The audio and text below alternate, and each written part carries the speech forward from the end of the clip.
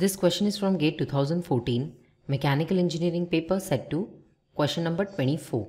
The relationship between true strain, epsilon T, and engineering strain, epsilon E, in a uniaxial tension test is given as. Let's see how it is done. We want to find out the relationship between engineering strain and true strain. So as per the definition of the two, we can write engineering strain is defined as change in length upon original length.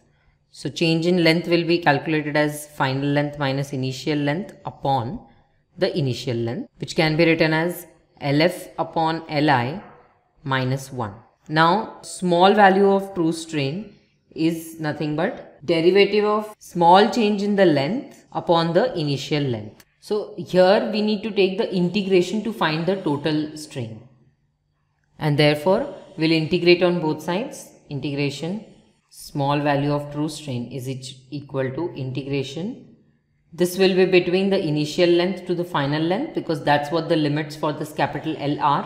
So dl by li. Here we get the integration as ln of l and after putting the limits from li to lf we have total true strain is equal to ln of final length minus ln of initial length. ln is nothing but natural log. So this can be written as natural log of final length upon initial length. So this gives us the true strain.